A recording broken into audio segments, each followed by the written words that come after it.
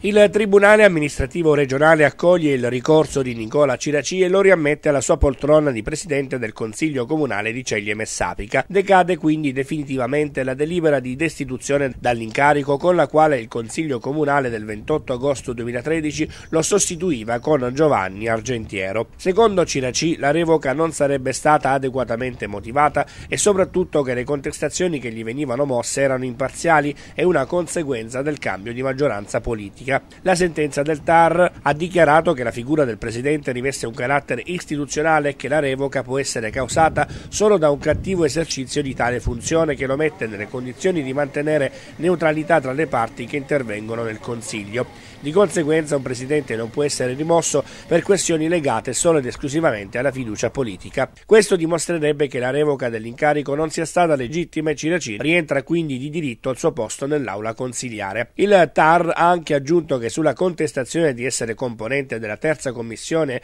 e aver determinato le condizioni perché non si raggiungesse il numero legale, va preso in considerazione il fatto che se da un lato nessuna legge vieta la partecipazione del Presidente dalle commissioni, dall'altro la sua mancata partecipazione era stata giustificata dai numerosi impegni istituzionali. Ciraci ovviamente ha pagato della risoluzione della questione, potrebbe ritornare sull'argomento lunedì prossimo con la convocazione di una conferenza stampa. Intanto piena soddisfazione per la decisione del TAR è stata espressa dal segretario provinciale del PDL Luigi Vitali, che attraverso una nota stampa fa sapere è la dimostrazione di come il nostro esponente abbia esercitato il suo ruolo esclusivamente nel rispetto della istituzione che rappresentava e come, prosegue Vitali, molte volte il nuovo che avanza utilizzi metodi e liturgie della più becera politica.